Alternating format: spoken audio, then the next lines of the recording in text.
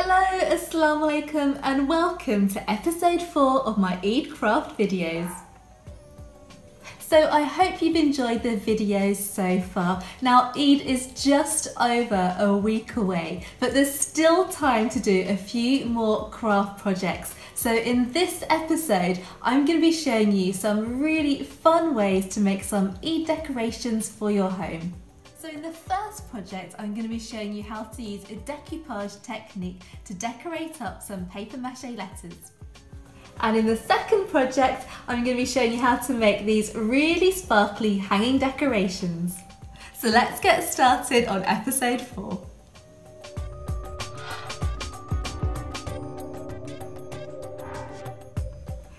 A really nice way to welcome guests into any party or any event is to have a sign and a really cool way to do it is to get hold of some of these paper mache letters that you can decorate up as you like.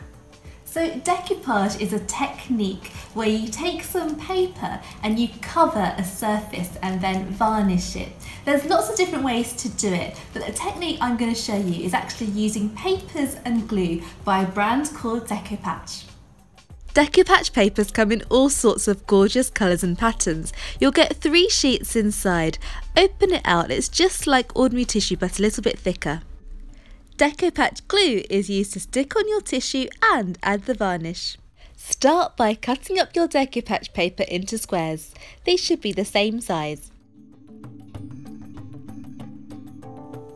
So the next part is the messy part, but it's also really fun. We're going to be applying glue to the letter and sticking on each of the squares. Paper mache letters come in different sizes. I'm demonstrating on a small one. Apply the glue with a small paintbrush. Just do a small section at a time.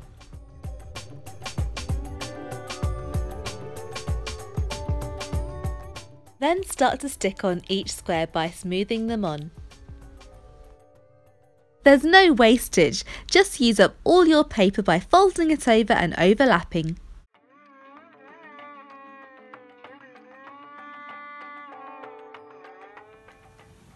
So keep going all the way around the letter until you've covered it completely. And then when the whole surface is covered, just apply a final coat of the glue on top as this creates a really nice glossy finish. So leave your letters to dry overnight. When they're dry, you can then decorate them up however you want. I kept mine simple by just sticking on a few gold stars with a gem in the centre and then applying some strips of trim. So back in episode 1 you may remember that I used gold card to cut out some stars. Now we ended up using the star borders and the actual stars that were left behind weren't used. Now I did say we'd use them for another project and this is where I used them. You'll need some gold card and a star-shaped punch. Just go along the edge of the card and keep punching out at even intervals to create your stars. Just like a traditional hole punch, the star shapes will be kept inside the punch, so you need to open it out to let them free.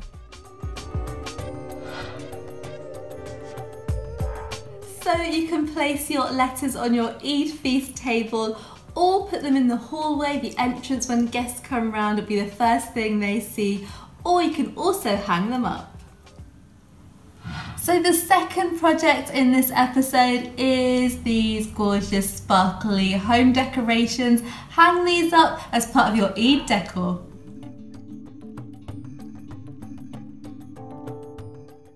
So here's what you need, some soft metallic fabric and card to create a template and also some of this gorgeous glittery fabric. You'll also need some paper-backed Bondaweb and some ribbon of your choice as well as a small piece of wadding to place inside your decoration. So start by cutting out a card circle. This is your template. Now you can make these decorations any size you want, but for these ones, my circle measures 10 centimeters across. So cut out two circles, one for the front and the back, and then a smaller circle in a different color. This is where you'll need your paper Bondaweb. So draw around the small circle onto the paper side and then peel off the backing. Place some paper on top of the circles and then iron over. The small circle will now be stuck to the large one. Next it's time for the glitter fabric. For this part you're going to be embellishing your decoration with whichever design you like. I decided to cut out an oval shape from the glitter fabric.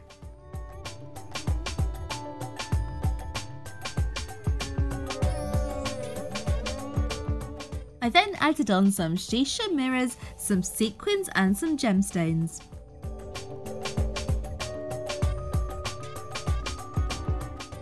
Cut a circle of wadding using the original template.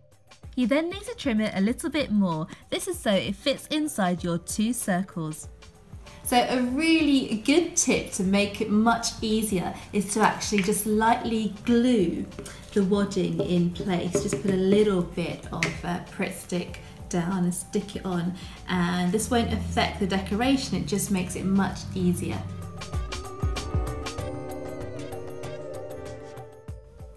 Finally, you need to sew both circles together. I did this by using a stitch called a whip stitch, where you go diagonally all the way across your circle. You'll be able to see the stitches, but that's all part of the design. Before you completely stitch up both ends, don't forget to slip your ribbon hanger inside. I love these decorations. Make as many as you like to make your home really colourful. So there you have it, a couple of easy, fun and colourful ways to do some Eid decor for your home. Now there's only just over a week of Ramadan left so there's not too much more Eid crafting opportunities but there is still one more episode to come next week. So I hope you enjoyed the episode. Don't worry if you missed the other three, you can still catch up on those as well. Now if you are enjoying my series then do make sure you subscribe and leave a comment below and let me know what you think. So don't forget you can also follow me on social media. I'm on Twitter, The Craft Cafe, and Instagram, The underscore Craft Cafe, for lots more colourful crafting inspiration. Join me next week for episode 5 for some really quick last minute Eid crafting ideas.